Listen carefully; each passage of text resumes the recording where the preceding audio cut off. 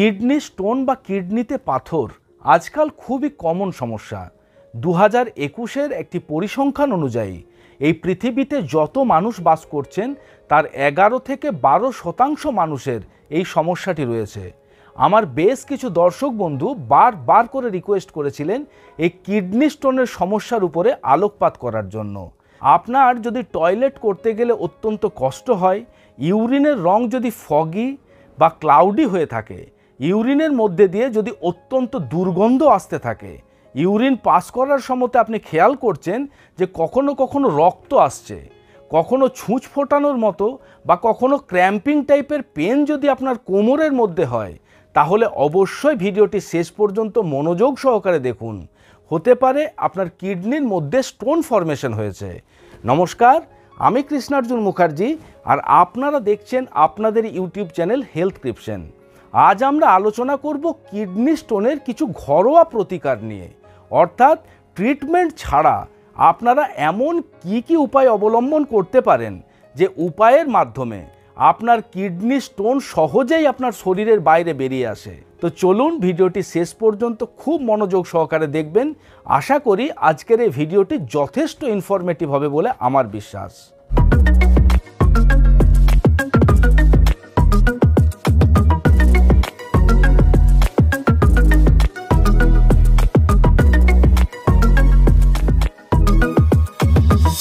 দেখুন, আমি প্রথমেই যে কিডনি স্টোনের সিমটমগুলির কথা বললাম, এই সমস্ত সিমটমগুলি দেখতে পেলে সর্বপ্রথম আপনি যেটি করবেন, আপনি একটি হোল অ্যাবডোমেন আলট্রাসনোগ্রাফি করিয়ে নেবেন।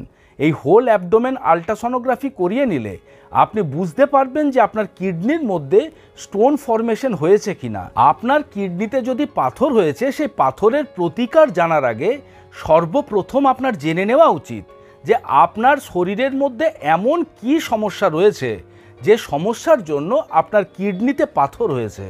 দেখুন, সমস্যাগুলির মধ্যে সর্বপ্রথম যে সমস্যা বা সর্বপ্রধান যে কারণটি, সেটি হলো ইউরিন কনসেন্ট্রেশন। অর্থাৎ ইউরিন বা প্রস্রাবের মধ্যে যদি ঘনত্ব বেড়ে যায়, দেখুন, আমরা সবাই জানি যে আমাদের শরীরে যে সমস্ত টক্সিন বা দূষিত পদার্থ থাকে, সেগুলি ইউরিনের মধ্যে দিয়ে আমাদের শরীরের বাইরে বেরিয়ে যায়। কিন্তু যখন আমরা জল পরিমাণে কম খাই, সেই মানুষটির কিন্তু কিডনি স্টোন হওয়ার সম্ভাবনা অনেকটা বেড়ে যায়। উদাহরণস্বরূপ, মনে করুন যদি একটি ড্রেন দিয়ে কন্টিনিউ জল যায় এবং সে ড্রেনের মধ্যে আমরা প্রতিদিন আবর্জনা ফেলতে থাকি, একটা সময় আসবে, ওই আবর্জনা দিয়ে ড্রেনের মুখটি বন্ধ হয়ে যাবে। আমাদের কিডনির ফাংশনও ঠিক অনেকটা ওই রকম ধরনের। আমরা যদি প্রয়োজনের থেকে জল দীর্ঘদিন ধরে কম খেতে থাকি, সেক্ষেত্রে আমাদের শরীরের যে সমস্ত দূষিত পদার্থগুলি বা যে সমস্ত টক্সিনগুলি ইউরিনের মধ্যে দিয়ে শরীরের বাইরে বের হয়, সেই সমস্ত দূষিত পদার্থের পরিমাণ বেড়ে যায় এবং প্রস্রাবের মধ্যে বা ইউরিনের মধ্যে তরল পদার্থের পরিমাণ ধীরে ধীরে কমতে থাকে এবং একটা সময় পরে কিডনিতে কিন্তু স্টোন ফরমেশন হতে পারে। দ্বিতীয় যে কারণটি, সেটি হলো আমাদের ইউরিনের মধ্যে। যদি ক্যালসিয়ামের মাত্রা বৃদ্ধি পেতে থাকে, ইউরিক অ্যাসিডের মাত্রা বৃদ্ধি পেতে থাকে এবং ক্রিস্টাল ফর্মিং সাবস্টেন্স অক্সালেটের মাত্রা যদি বৃদ্ধি পায়, তখন ওই ক্যালসিয়াম এবং অক্সালেট দুটি মিলে ক্যালসিয়াম অক্সালেট ক্রিস্টাল ফর্ম হয়, যেটি পরবর্তী ক্ষেত্রে কিডনি স্টোনের রূপ নেয়। কিডনি পাথরের কারণ বলতে গিয়েই আমি আপনাদের বলেছি যে আপনাকে কিন্তু জল খাওয়ার পরিমাণ বাড়াতে হবে। আপনার কিডনি স্টোনের সাইজ যদি জিরো পয়েন্ট ফোর এমএম থেকে জিরো পয়েন্ট ফাইভ এমএম এর মধ্যে থাকে, আপনি জল খাওয়ার পরিমাণ বাড়ালে আপনি যখন ইউরিন বেশি বেশি পাস করবেন, ইউরিনের মধ্যে দিয়েই সেই পাথরটি কিন্তু আপনার শরীরের বাইরে বেরিয়ে যাবে। পরবর্তী যে রেমিডিটি আপনাদের বলব, সেটি হলো পাথরকুচির পাতা। এই পাথরকুচির পাতা মোটামুটি আমরা সকলেই চিনি। এই পাথরকুচি গাছের বিজ্ঞানসম্মত নাম হল ব্রায়োফাইলাম পিন্নাটাম।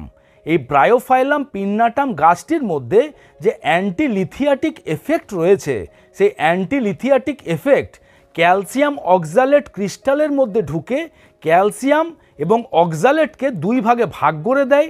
এবং সেই পাথরটিকে টুকরো টুকরো করে ভেঙে আমাদের ইউরিনের মধ্যে দিয়ে শরীরের বাইরে বের করে দিতে সাহায্য করে। সেক্ষেত্রে আপনি সারাদিনে দুইবার খালি পেটে তিনটি করে পাতা চিবিয়ে খেতে পারেন, আর না হলে সকালবেলা খালি পেটে এক গ্লাস পাথরকুচি পাতার রস করে কিন্তু আপনি খেতে পারেন। আপনার কিডনি স্টোনের সমস্যা থাকলে আপনাকে কিন্তু প্রচুর পরিমাণে সাইট্রাস ফ্রুটস খেতে হবে।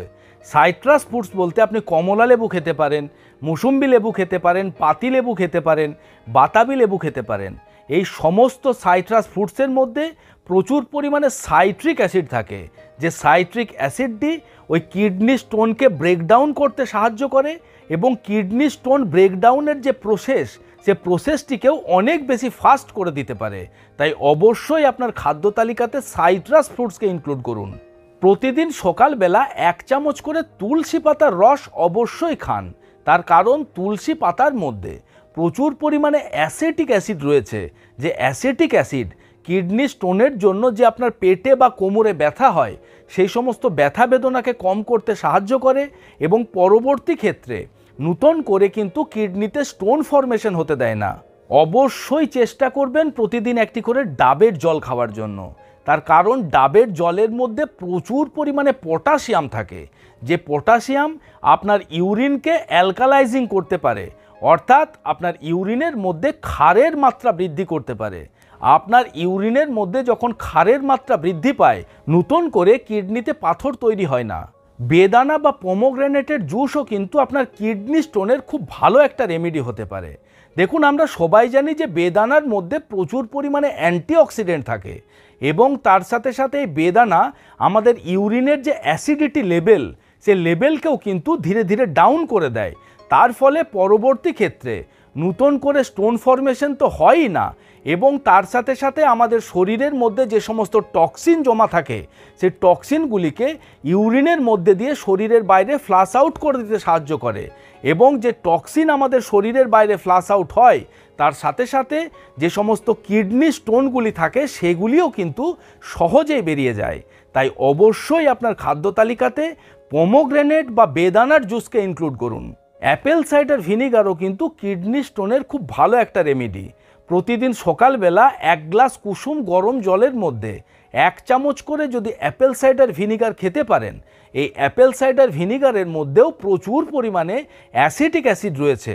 যে অ্যাসিটিক অ্যাসিড কিডনি স্টোনের জন্য আপনার পেটে বা কোমরে যে ব্যথা হয় সে ব্যথা বেদনা কম করতে সাহায্য করে, কিডনির যে স্টোনগুলি সেগুলিকে টুকরো টুকরো করে ভেঙে দিয়ে আপনার শরীরের বাইরে ফ্লাশ আউট করে দিতে সাহায্য করে এবং তার সাথে সাথে আপনার কিডনিতে যাতে নতুন করে স্টোন ফরমেশন না হয়, সেদিক থেকেও সাহায্য করে। সাথে অবশ্যই প্রতিনিয়ত আপনাকে শরীর চর্চা করতে হবে। আমি এতক্ষণ ধরে যে সমস্ত রেমেডিগুলির কথা আপনাদের বললাম, সেই সমস্ত রেমেডিগুলি তখন আরও অনেক বেশি এফেক্টিভ হবে যদি প্রতিদিন আপনি ফিজিক্যাল এক্সারসাইজ করতে পারেন। ফিজিক্যাল এক্সারসাইজ বলতে আপনি জাম্পিং করতে পারেন, আপনি রানিং করতে পারেন, আপনি সাইক্লিং করতে পারেন। তার সাথে সাথে বেশ কিছু যোগ ব্যায়ামও আপনি করতে পারেন। যোগব্যায়ামের মধ্যে আপনি ভুজঙ্গাসন করতে পারেন, আপনি পবন মুক্তাসন করতে পারেন, আপনি সর্বাঙ্গাসন করতে পারেন। এই সমস্ত যোগব্যায়ামগুলি আপনার কিডনি স্টোনকে আপনার শরীরের বাইরে বের করে দিতে সাহায্য করে। অনুলোম বিলোম কপাল ভাতির মতো ব্রিদিং এক্সারসাইজও করতে পারেন। এই ব্রিদিং এক্সারসাইজও কিন্তু আপনার জন্য বেশ লাভদায়ক হতে পারে। এখন আমরা জেনে নেব যে যদি আপনার কিডনি স্টোনের সমস্যা রয়েছে, তাহলে কোন কোন খাবারগুলি আপনার অ্যাভয়েড করে চলা উচিত? তার জন্য সর্বপ্রথম আমাদের খেয়াল রাখতে হবে যে আমাদের রক্তে যাতে ইউরিক অ্যাসিডের মাত্রা বৃদ্ধি পেয়ে না যায়। রক্তে ইউরিক অ্যাসিডের মাত্রা বৃদ্ধি পায় কোন কোন খাবারগুলিতে? এই নিয়ে বিস্তারিত আলোচনা করে আমার একটি ভিডিও রয়েছে। সেই ভিডিওর লিংক আমরা ডিসক্রিপশন বক্সে দিয়ে দেবো। অবশ্যই একবার ভিডিওটি দেখে নেবেন। সেই ভিডিওটি দেখে নিলেই আপনাদের একটা আইডিয়া হয়ে যাবে যে ইউরিক অ্যাসিডের মাত্রাকে কন্ট্রোলে রাখার জন্য কোন কোন খাবারগুলি আপনার অ্যাভয়েড করে চলা উচিত। তার সাথে সাথে যে সমস্ত খাবারের মধ্যে অক্সালেটের মাত্রা বেশি রয়েছে, সেই সমস্ত খাবারগুলিও আমাদের অ্যাভয়েড করে চলতে হবে। অক্সালেট রিচ ফুড বলতে আপনি যে কোনো প্রকারের নাটস অ্যান্ড নাটস প্রোডাক্ট অর্থাৎ বাদাম এবং বাদামজাত জিনিস থেকে আপনাকে দূরে থাকার চেষ্টা করতে হবে। আপনাকে পালং শাক থেকে দূরে থাকার চেষ্টা করতে হবে। বিট, লাল আলু, চা, কফি চকলেট, এই সমস্ত খাবারগুলি যতটা সম্ভব কম খাওয়ার চেষ্টা করতে হবে। যে কোনো প্রকারের সফট ড্রিঙ্কস কার্বোনেটেড ড্রিঙ্কস এগুলি অ্যাভয়েড করে চলতে হবে। এই সমস্ত খাবারগুলির মধ্যে প্রচুর পরিমাণে অক্সালেট থাকে। যে অক্সালেট আপনার কিডনিতে কিন্তু নতুন করে স্টোন ফরমেশন করতে পারে। আমি এতক্ষণ ধরে যে হোম রেমেডিগুলির কথা আপনাদের সাথে আলোচনা করলাম এবং তার সাথে সাথে যে সমস্ত খাবারগুলি অ্যাভয়েড করে চলার কথা বললাম, যে সমস্ত ফিজিক্যাল অ্যাক্টিভিটি আপনাদের প্রতিদিনের তালিকায় যুক্ত করার কথা বললাম, এই বিষয়গুলি মাথায় নিয়ে যদি আপনারা চলতে পারেন, কিছু দিনের মধ্যেই অবশ্যই ভালো ফল পাবেন। তবে অবশ্যই মনে রাখবেন, আপনার কিডনি স্টোনের সাইজ যদি জিরো পয়েন্ট ফাইভ এম এর থেকে বেশি থাকে, অবশ্যই একবার চিকিৎসকের সাথে পরামর্শ করে নেবেন। আশা করি ভিডিওটি আপনাদের ভালো লেগেছে। যদি ভালো লেগে থাকে তাহলে অবশ্যই ভিডিওটিকে লাইক, কমেন্ট, শেয়ার এবং সাবস্ক্রাইব করবেন। আর যদি বন্ধুরা আপনারা ফেসবুকের পেজ থেকে দেখছেন, তাহলে অবশ্যই পেজটিকে ফলো করে রাখুন, পেজটিকে লাইক করে রাখুন। খুব শীঘ্রই দেখা হবে বন্ধুরা নতুন কোনো একটি ভিডিওর সাথে। ততক্ষণ আপনাদের খেয়াল রাখবেন আপনাদের সুস্থতা এবং দীর্ঘায়ু কামনা করছি। ধন্যবাদ।